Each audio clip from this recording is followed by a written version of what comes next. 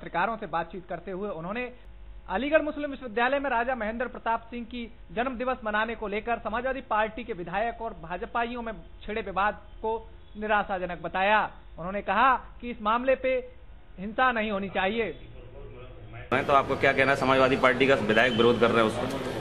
हम नहीं चाहते कि यहाँ दंगा फसाद और समाजवादी पार्टी इसमें विश्वास नहीं कि दंगा फसाद हो और मैं स्वयं नहीं चाहता हूँ कल कोई भी मुद्दा लेके दंगा फसाद किया जाए। नहीं अगर वो मनाते हैं तो आप मान, सरकार मान, मान सम्मान इसी का इसी तरह से भी मनाया जा सकता है लेकिन दंगा फसाद करा के नहीं विवाद करा के नहीं मन में इंसान के मन में ठेस पहुँचा के नहीं इस तरह से नहीं होना चाहिए। पार्टी इसकी ज़्यादा दे रही है अपने अपने विरोध विभाग करें।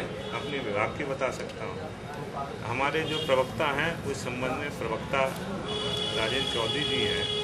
पार्टी का स्टैंड वही क्लियर करेंगे कि पार्टी का स्टैंड इस संबंध में क्या होगा। कई लोक कल्याणकारी योजनाओं को अखिलेश सरकार द्वारा अधर में ही बंद किए जाने के वीपीएल न्यूज़ के सवाल का जवाब देते हुए उन्होंने इसका ठीकरा विपक्षियों पर फोड़ा। सरकार ने जो कल्याणकारी योजना चलाई थी उसमें से काफ़ी योजना सरकार ने बंद कर दी है जैसे बेरोजगारी भत्ता अब ये समाजवादी पेंशन ये नई शुरू की है इसमें 40 लाख लोगों का भला होगा।